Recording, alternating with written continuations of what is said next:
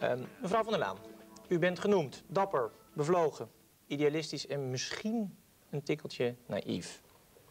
Nou, naïef bent u volgens mij echt niet. En wie heeft dat gezegd? Nou, dat heeft een journalist ooit heeft u zo omschreven. Eh, dat was een welwillende journalist. Al die journalisten zijn welwillend. We gaan vandaag een testje doen met u. Eh, hoe diplomatiek is Loes Wies van der Laan? Ehm, wat denkt u?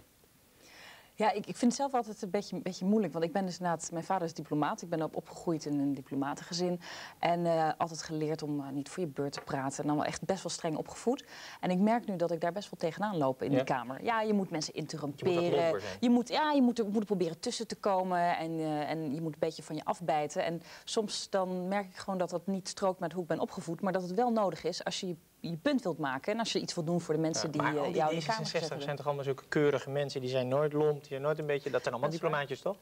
Het is waar. En ook, ook altijd heel goed luisteren naar andermans eh, standpunt en, en wikken en wegen en zo. En niet zo keihard er doorheen. Dat vind ik ook wel prettig. Maar eh, we leven ook in een, een nieuw soort democratie tegenwoordig. En als je niet eh, ja, goed je mannetje kunt staan, dan kom je ook niet verder met je standpunten. Dat is natuurlijk niet handig. Kijk, ik, we gaan de knop eruit trekken als u te veel eh, partijprogramma's gaat voorlezen en als het allemaal te veel Nee, hoor. geratel wordt. We hebben een paar buitengewoon lompe vragen, dus daar kun je in alle eerlijkheid op antwoorden. Laten we even met de eerste beginnen. Op het scherm staat vraag 1. Een goede vriendin vraagt vlak voor de aankomst van haar date wat u van haar afstotelijke make-up vindt. U zegt A. Fantastisch, er is toch geen tijd meer voor verandering. Hè? Dat gaat toch allemaal niet meer helpen. Of twee, u zegt vreselijk, u wilt niet tegen haar liegen. C. U doet net of uw stembanden plots niet meer werken. U zegt dus helemaal niets. A. Ja? Ja. Oh, toch even naar de mond praten. Ja, nee, maar als er toch niks meer aan te veranderen is... en uiteindelijk denk ik dat schoonheid meer te maken heeft met uitstraling. Dus als zij denkt dat ze er fantastisch uitziet... dan ziet ze er waarschijnlijk veel beter uit... dan als ze de hele Maar het- avond het gaat onzeker ook over is. eerlijkheid, hè? Nee, niet bij uiterlijkheden. Nee? En diplomaten zijn ook nooit eerlijk, dus. Nee, maar dus Toch? ik vind, het is een vriendin. Het gaat erom hoe zij die avond lekker in de vel zit. Maar waarom dan meteen fantastisch? Kunt u ook zeggen... Ja, maar dat is geen optie. Ik, kan dus zeggen, ik zou dan zeggen van nou, doe dit nog een beetje anders of zo. Ja? Maar in principe wel zie je er heel mooi uit. Ik zou, dat, ik zou wel wat meer richting eerlijk gaan. Maar ik dacht dat ik moest kiezen uit... eh, Precies. We moeten Ik hou aan de regeltjes. Een, een, een lompe keuze. Eh, dit is televisie, eh eendimensionaal. We gaan naar vraag 2. Na de moord op Fortuin blijkt 80% van de Nederlanders voor invoering van de doodstraf. U denkt, A, als het volk bloed wil zien, dan krijgen ze dat.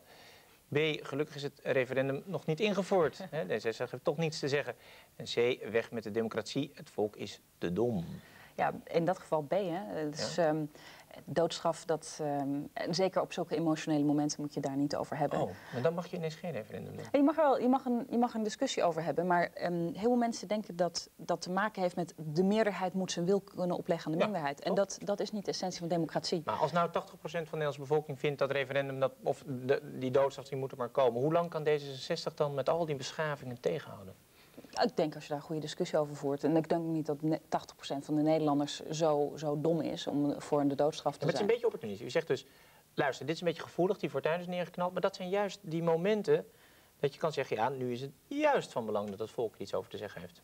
Ja, kijk, Stenigen. als er, als er een referendum is, komt, en als het komt over de doodstraf, dan ga ik die discussie aan met mensen. Dan zou ik ze proberen te overtuigen, dan weet je dat je verliest. Maar het lijkt me verschrikkelijk als, als Nederland daarvoor kiest. Ja, maar we krijgen misschien ook een keer een referendum over eh, de buitenlanders erin of eruit. Dan Ja, krijg je ook dit soort sentimenten. Dat kan, dat maar dan kan allemaal. doet u wel mee. Ja, absoluut. En je, Ja? moet, je moet, kijk, of je gelooft dat mensen eh, ja, stemrecht moeten hebben en niet te dom zijn. Nou, dan zeg je, zoals, ja, zoals de partij zegt, dan kun je ook via referendum op andere manier krijg Mhm. je wat te zeggen.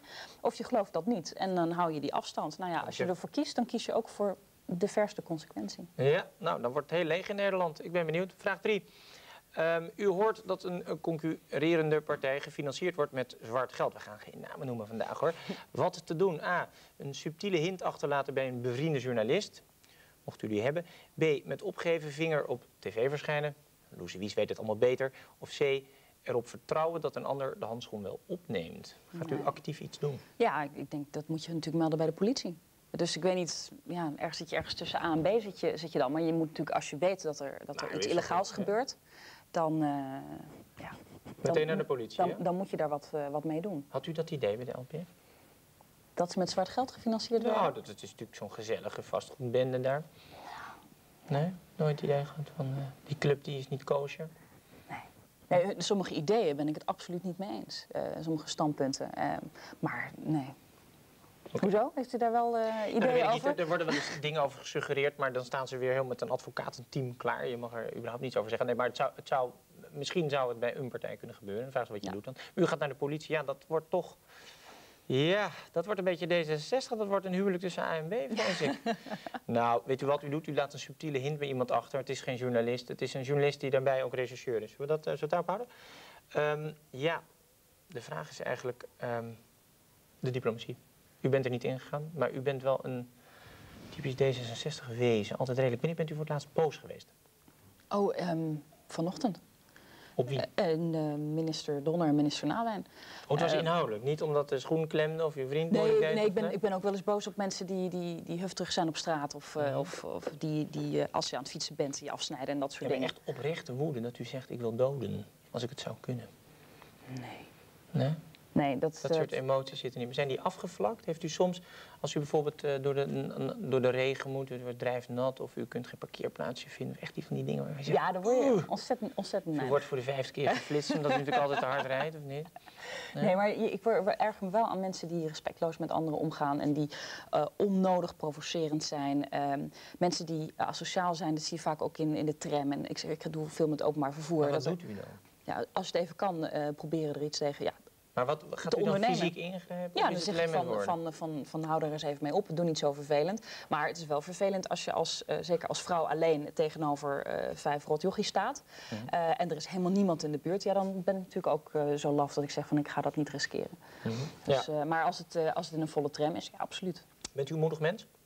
Ehm, als ik ergens echt in geloof en als ik vind dat, eh, dat er veel onrecht is of zo, dan, eh, dan ben ik ook wel bereid om Ja. heel ver te gaan om ervoor te vechten. Durft u overal over te praten vandaag? Nou, ik, dat is een beetje afhankelijk van hoe persoonlijk het wordt, maar in principe wel. Nou, u had eigenlijk verzocht van... ga het nou niet de hele tijd met mij over die formatie hebben. Want ja, iedereen vraagt of ik minister wil worden. Hè. Natuurlijk wil ik dat worden, maar dat kun je niet zeggen in Nederland. dus dat, dat, u had meteen al zo'n soort stipuleerde iets van... daar moeten we het maar niet over hebben. Vond ik een beetje, beetje flauw. Ja, dat, dat kan. Maar het, het Ik vervelende... U bent toch voor Nee, maar, openheid, ja, maar het vervelende is nou juist weer dat, dat je dan alleen maar van die, van die dingen kan zeggen van ja, dat weten we nog niet en dat is niet duidelijk. En dat is ook zo weer zo saai Ja. voor mensen. En dan hebben ze weer van dat Maar u kunt ook gewoon zeggen wat u wilt. Ik wil de minister van eh, goede, van, Ik wil eh, de eerste goede gebruiker worden of Ik zo. wil de eerste rechtstreeks gekozen minister-president van Nederland worden. Nou, dat is een ambitie. Ja. Zou die ik er denk, komen, denk denk niet dat dat eh, deze keer en misschien ook niet volgende keer gaat gebeuren. Maar ooit gaat dat wel gebeuren. Oh, wacht even, want dat is toch een van die D66-standpunten. We moeten Ja. wat meer rechtstreeks gaan kiezen. Ja. Maar u zegt nu eigenlijk al, voordat het kabinet van start gaat... nou, dat gaat er nu al zeker Nee, niet maar van er komen. moet namelijk een grondwetswijziging overheen. dus nog een verkiezing. Ja. Maar u verwacht wel dat de volgende keer aan de beurt is. Ik hoop het. En dan, eh, moeten we Dan hebben we weer- dan moeten we dus rekenen op, op, op de Nederlandse bevolking, waar we dus vertrouwen in hebben. Dat die ook zeggen, we willen gewoon meer te zeggen krijgen over eh, wat ze daar in die politiek doen. Ja. Nou, heeft u misschien deze week eh, de reportage over Pim Fortuyn nog eens gevolgd? Dat is een jaar geleden inmiddels. Ehm, wat is daar nu van over? De man die eigenlijk met al die D66-standpunten aan de haal ging... die al die stemmen bij elkaar haalde. En nu is het een jaar later en we vallen weer in alle fouten. Ja. Ik ben bang dat ehm, de echte lessen van Fortuyn, namelijk er moet wat veranderen in de politiek, er moet wat gebeuren, er moet meer naar mensen geluisterd worden, dat eigenlijk iedereen eh, het maar een beetje heeft laten verwaaien. Er werden allemaal mooie dingen gezegd, maar in de praktijk komt Ja, er heel als ik weinig dus van met, terecht. met u over de formatie gewoon even... Man tot vrouw, vertel het nou even. Er zijn geen kijkers bij. Het is Veronica, we zijn echt onder elkaar. Dat, is, dat, kan je, dat kan dus allemaal dan niet. Dus u doet ook alweer aan dat achterkamertjesgedoe mee. Nee, maar het, het is, ehm, er zijn bepaalde dingen die je kan bespreken en andere dingen niet. En ik vind al wat dat betreft dat er nu veel meer openheid eh, is dan, eh, dan die afgelopen drieënhalve maand met die formatie die uiteindelijk op niks is Ja, ja. uitgekomen. Oké. Eh, en, maar je moet, moet denk ik ook kijken naar. Ehm, hebben mensen nou het gevoel dat ze serieus genomen worden? En ik vind nog steeds dat dingen in Nederland slecht georganiseerd We zijn. zijn toch terug bij af. Laten Ja. we nou gewoon Ja, eerlijk zijn. Het is toch gewoon weer 1994 of 1980. Ik bedoel, ja. Ehm, we gaan nog even een paar vraagjes stellen, want het is onverbiddelijk, Ja. dit, eh, deze tv-terreur. Moet wel wat lomper worden hoor, Loes Wies. Nu, vraag 4. U kunt een deel van uw idealen bereiken als u hult met de vijand. Of terwijl een coalitie aangaat. A. U doet dat. B. U heeft grote twijfels. C. U zou dat nooit doen. U kunt de vijand, kunt u gewoon CDA zeggen of zo. Dat maakt niet uit, maar dat, dat maakt Nee, wij maar dat, nog ik wel. vind dat je dat moet doen. Wat wel interessant is, is ik heb een keer eh, gesolliciteerd bij Greenpeace. En ik heb toen gezegd van, nou, toen stelden ze die vraag van... je kunt 98% van Greenpeace-idealen binnenhalen in onderhandeling... maar dan moet je wel instemmen met het hele Ja. resultaat. Toen zei ik, nou, dat ben ik wel bereid om te doen voor die 98%. Toen zei ze, nou, dan kunt u weer niet werken... want u moet tot het bittere eind tegenwerken. Dus dan krijg je de keuze van, luister, eh, we hebben in twee kabinetten paars gezeten. was niet zo'n groot, we hebben niet zoveel bereikt daar. We zijn ook gemarginaliseerd als partij. Nu gaan we gewoon met de vijand, met het CDA door en we zien wel.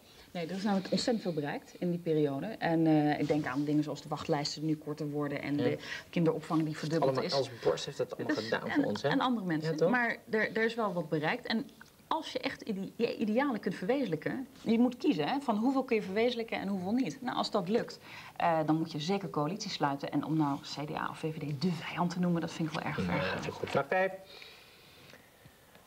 Leeft u zich eens in in een Irakese soldaat? Opeens staat er een immense legermacht voor uw gevechtsputje. A. Dan zou ik ook meteen doen of ik een burger ben. B. Voor het grote goed. Dan wel Allah. Waag ik mijn leven? Of C. Ik kies voor de winnaar. Wie dat ook zijn mogen. Ik denk dat de meeste Iraakse soldaten, en daar moet ik me nu even in verplaatsen, eh, hebben gedaan alsof ze burger zijn. Want Ja? die hele, ja, dit was natuurlijk eigenlijk helemaal verdwenen. Ehm, In het schuttersputje. Ja, het idee van, van sterven voor het grote goed, dan moet je wel heel erg geloven in iets. Mhm. En als dat Saddam Hussein is, nou, dat gelooft helemaal niemand in. Dus. Ehm, en heel erg religieus ben ik ook wel Maar, niet. maar durft, u, durft u voor een ideaal te zijn? U heeft een keer gezegd, Ja. als, ik, als mijn idealen op zijn, ga ik een andere baan zoeken. Dus toen u in het Europarlement zat en de idealen op waren, bent u naar Den Haag gegaan. Eh, Mag ik het zo lezen? Nou, als u... Nee. nee. Oh, nee, maar als lekker suggestief deze. Maar, nee? nee, maar het is, het, kijk, ik wil best, ben best wel bereid om te sterven voor een ideaal. Maar zo'n Iraakse soldaat wat zou een mooi tegenover ideaal zijn? Amerikaan. Oorlogssituatie in Ehm, Nederland? als, je, als je er mensenlevens mee zou kunnen redden. En dat is dus ook een groter ideaal, een president waar je voor gaat? Of, een- of is het in het familieverband?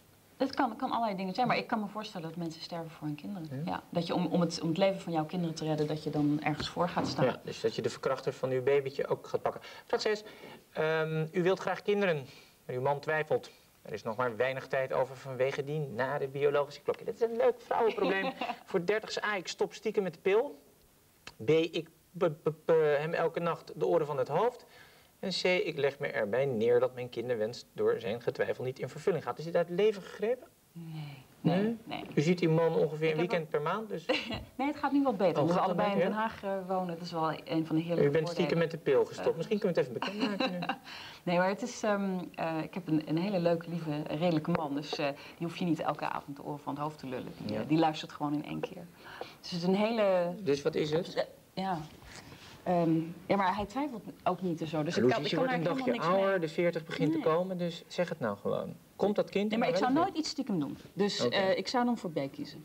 Ja? Ja, maar, de- dan, maar dan zeg ik meteen bij dat, je, dat ik ja, bij Dennis eh, hoef je maar iets één keer te zeggen en dan luistert hij meteen. Dat is gewoon Oh, dat is een hele, man. nou, die heb je lekker onder de plak zeg. Nee, die is gewoon heel verstandig. Ja? Ja, onder de plak, nee. We gaan straks naar de break door met Loes Wies van der Laan. De vraag is, is zij die grote idealiste die wij van D66 kennen... of het domme blondje van de Nederlandse politiek? Tot zo.